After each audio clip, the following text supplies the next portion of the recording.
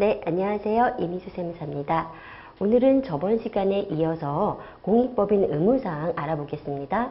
자, 공익법인 의무사항 외부 회계감사 의무가 있고요. 외부 전문가 세무 확인이 있습니다.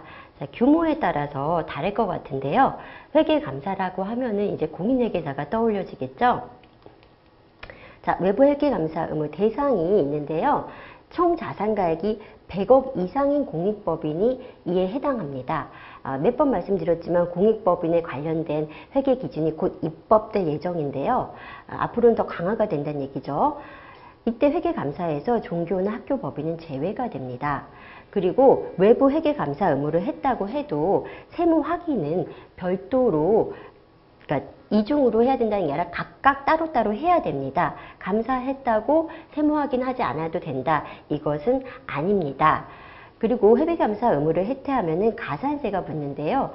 이 금액은 수익 금액과 재산 출현 금액의 만분의 7로 되어 있습니다. 이, 이 금액을 상속세나 증여세로 과세를 하게 되고요. 이 규정은 2017년 1월 1일부터 적용이 될 것입니다.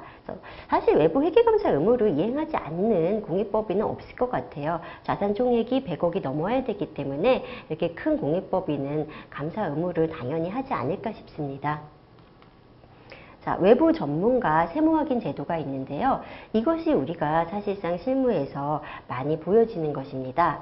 자, 세무 확인 왜 할까요? 공익법인이 바로 목적 사업에 아, 잘 운영을 하고 있는지 기부금을 잘 목적 사업에 쓰고 있는지 이런 것들을 확인하려고 하는 것입니다. 그래서 세무 확인 대상이 되는 공익법인이 있는데요. 자산 총액이 5억 이상이거나 어, 3억 수익 금액이나 출연 재산이 3억 이상인 경우입니다. 그래서 이런 세무 확인 대상이 되는 공익법인이 실제로 3월쯤 되면은 막 연락을 합니다.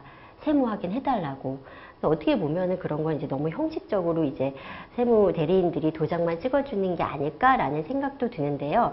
앞으로는 요 우리가 세무 확인을 해주는 문제에 있어서 세무 대리인에게도 어떤 규제가 가해지지 않을까 이런 우려가 들고는 있습니다. 그래서 두 명 이상의 변호사나 세무사 그리고 공인회계사를 선임해라 라고 규정이 되어 있습니다. 여기에도 가산세가 붙는데요. 역시나 수익금액과 출연재산을 합한 금액의 만분의 7입니다. 만약 가산세가 100만원 이하라면 100만원을 부과하고요. 총 한도는 5천만원까지 부과할 수 있습니다. 그래서 반드시 외부 전문가 세무 확인은 받아야 된다. 자 그러면은 세무 확인의 결과를 보고하는 기간이 언제까지냐? 바로 사업연도 종료의 3월 이내입니다.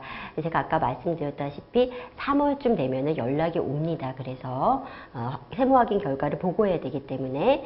그 다음에 세무 확인 항목이 이제 사, 세세히 살펴보자면 어떤 것들이 있냐면요. 출연받은 재산을 공익법인에서 제대로 사용하고 있는지를 세무 전문가가 확인을 하는 것이기 때문에요. 공익 목적에 사용했냐 안 했냐를 보고 보고 그 다음에 출연받은 재산의 운영 및 수익 사업을 적정하게 운영을 했냐 수익 사업 내용이 적정한가 이런 것들을 봅니다. 그리고 아까 말씀드렸던 앞서 이제 저희가 저번 시간과 저저번 시간에 말씀드렸던 공익법인 의무사항이 있는데요. 이런 의무사항, 뭐 재산 출연자가 특수관계자가 5분의 1을 초과하면 안 된다라든지 어, 여러 가지 의무사항이 있었죠. 이런 의무사항을 제대로 이행했는지를 세무 전문가가 확인을 하는 것입니다. 그리고 공익법인 수혜자의 적정성 여부도 확인을 하는데요.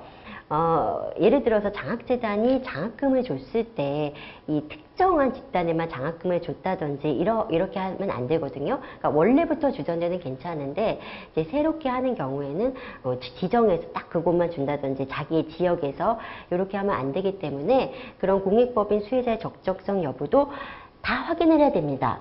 과연 이런 것들이 어, 외부 전문가가 전부 확인을 할 수 있을지 약간의 의문이 들지만은요. 최선의 노력을 해가지고 공익법인이 적정하게 운영될 수 있도록 제도 개선을 해야 될 것으로 생각이 됩니다. 자, 다음 시간에 뵙겠습니다.